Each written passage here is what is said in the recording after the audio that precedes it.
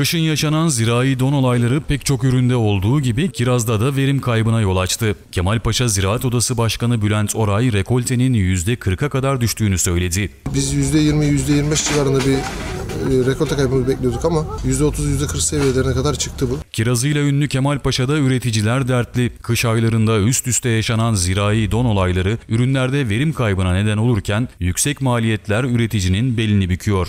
Kemalpaşa Ziraat Odası Başkanı Bülent Oray, 86 bin dekar alanda 7 bin çiftçinin kiraz üretimi yaptığı kentte çözüm için kooperatifçiliği işaret ediyor. Türkiye'nin her tarafında kooperatifçinin önüne açılması ve bunlar da politikalarla. Ya şimdi baktığımızda üreticiler geçmişten bu kooperatifteki yaşanan kötü olaylardan dolayı kooperatiflikten kaçıyor. Ne zaman aklına geliyor? İşte ürünleri bir hasar olduğunda, pazar daraldığında yani maliyetlerin yükseldiğinden sonra ondan sonra diyorlar ki birlik olalım, kooperatif olalım. Kendisi de kiraz üreticisi olan Kemalpaşa Ziraat Odası Başkanı Bülent Oray, yaşanan verim kaybının sebebinin Şubat ve Mart aylarında yaşanan don olayları olduğunu söyledi. 18 Şubat'ta yaşadığımız eksi 5 derecelik bir don olayı bizim bölgemizdeki rekolteyi ciddi bir şekilde etkiledi. Özellikle kirazda. Biz %20, %25 civarında bir e, rekolte kaybımızı bekliyorduk ama %30, %40 seviyelerine kadar çıktı bu. Eksi 5 derece olması bir 12 Mart ve 26 Mart tarihlerinde yine eksi 2, eksi 3 derecindeki e, ısı düşükleri bizim o dönemde e, kirazımızın gözlerinde yanma, çiçeklerinde kararmayla rekoltemizde düşüklük meydana getirdi. Kemalpaşa kirazının başta Avrupa olmak üzere Rusya ve Uzak Doğu ülkelerine ihraç edildiğini söyleyen Oray, iç piyasadan ziyade ihracatın önemli olduğunu söyledi. Şimdi bölgemizde yetiştirilen bizim kirazımız ilk başta Avrupa ülkeleri olmak üzere Rusya ve Uzak Doğu ülkelerine gönderiliyor. E, uzak Doğu ülkelerinde uçak kargoyla ihracat yapılıyor. Ve ciddi bir şekilde bölgemizde yetiştirilen ürünün bir pazarı var. Avrupa taraflarda da gittiğinde Kemalpaşa kiraz olarak da e, görülebiliyor. E, bekleniyor hasat zamanı ne zaman gelir diye.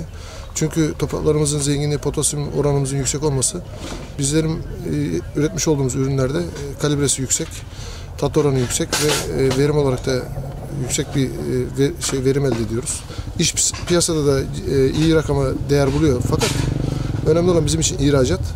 Kirazın oldukça zahmetli ve maliyetli bir ürün olduğunu söyleyen başkan, üreticiden çok aracıların kazandığını ifade etti. Üreticinin elinden çıktığı rakamlarla e, marketlerde ve pazarlarda satışa sunulan rakamlar arasında çok aşırı derece bir farklılık var. Bu, bu sene hasta olan bir şey değil, yıllardır bu şekilde. Çünkü kayıt dışılığı, tarımdaki kayıt dışılığın e, bu yansıması. Biz bunu yıllarca işte ben de Ziraat Odası Başkanı olarak hep dile getiriyoruz. E, ürettiğimiz ürünü e, üretici zor zahmet bu ürünü üretiyor. Ya yani bugün bir kilo kirazın maliyeti 20 liraya geçiyor. E, baktığımızda da her üründe aynı kalibrede de değil. Çünkü iş piyasaya gidecek olan ürün de oluyor. Iskartaya ayırdığımız ürün de oluyor. İhracata giden ürün de oluyor. Yani bugün 20 liranın altında bahçe maliyeti geldi mi üretici bu konuda e, bu üretime zarar zarara karşı karşı geliyor.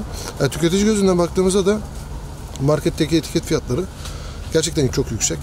Ee, zannediyorlar ki tüketiciler de kiraz üreticisi ciddi paralar kazanıyor. Burada aradaki e, komisyoncular, e, halciler, halciler değil mi? Yani komisyoncu bu aracılık yapan yani tüketici ile üretici arasındaki e, ürünü o aşamaya getiren kesim. Sadece kiraz için değil, tüm tarımsal ürünler için kooperatifleşmenin önünün açılması gerektiğini söyleyen Oray, hem üreticinin hem de tüketicinin kazanmasının yolu olarak kooperatifleşmeyi gösterdi. Ya bu üretim eğer yapılacaksa Türkiye'nin her tarafında kooperatifçinin önüne açılması ve bunlar da politikalarla. Ya şimdi baktığımızda üreticiler geçmişten bu kooperatifteki yaşanan kötü olaylardan dolayı kooperatiflikten kaçıyor. Ne zaman aklına geliyor? İşte ürünleri bir hasar olduğunda, pazar daraldığında yani maliyetlerin yükseldiğinden sonra ondan sonra diyorlar ki birlik olalım, kooperatif olalım. Ama bunlar devlet politikaları, bunlar açılabilir. Ya şimdi bir buçuk yıldır e, dünyayı sarmış olan bir korona getiriyle karşı karşıyayız.